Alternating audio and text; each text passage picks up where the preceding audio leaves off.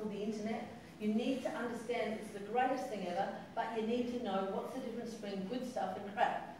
My stuff is good stuff. It's based on, this is based on epigenetics. Twin studies, where there's actually two identical twins, where one ends up fat, one's smaller, one ends up um, gay, one ends up straight. And they never thought that was possible. They thought genetics was such a big thing, but we now know environment changes everything. And as Mark said, you being critical people in kids' lives can actually help people who have been born into a bad family.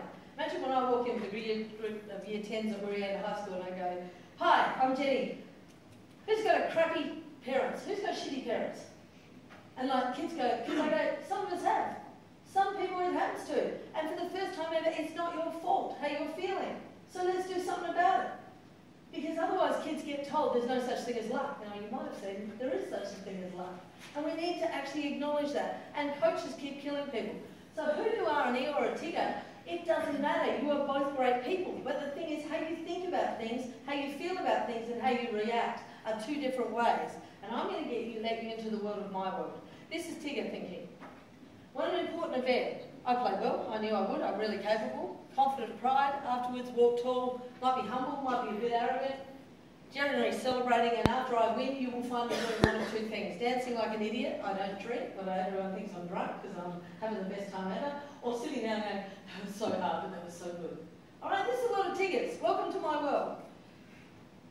Need to an important game. I will play well, I know I can, I'm really confident.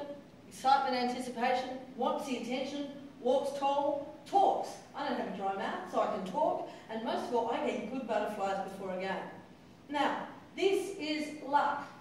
I lucked into an optimistic mother that you wouldn't believe. You know, like she thought the golf hole was this big. Really important. It coloured how I felt about myself and how I felt about mistakes and what I would do.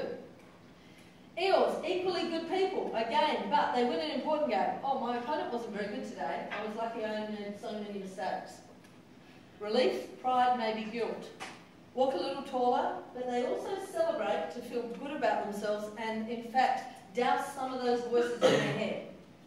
Douse some of those doubting voices in their head, and they can even be sick from relief if they've had a lot of pressure put on them.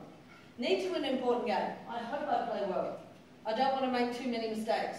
My opponent looks strong. I hope my opponent has a bad day. Fear, dread, helplessness, embarrassment. Looks small, hides, can't talk, and the physical sensations they're starting to have are heart racing, dry mouth, cold hands, breathlessness, nervous number ones, nervous number twos, and throwing up. If you look at many of your change rooms, this is happening to so many people, and they get told to harden up, you swallow some cement or things like that, I hear. Um, if you, the worst advice from the worst people who do not get stuff. Now, that's winning. Now let's look at losing an event.